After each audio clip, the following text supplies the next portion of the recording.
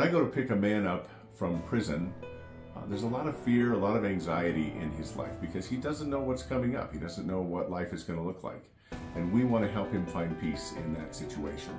We do that by providing for physical needs, but also by welcoming him into the home of my Father's house, into our family. We want him to feel embraced and loved by us. We want him to feel the love of Christ.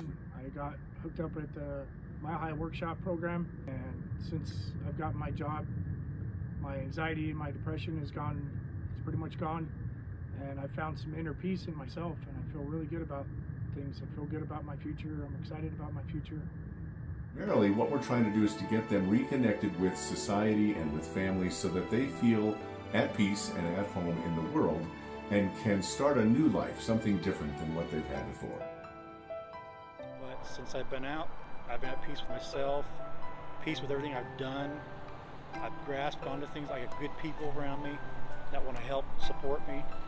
I couldn't ask for a better time in my life. It's like I've been reborn almost. It's like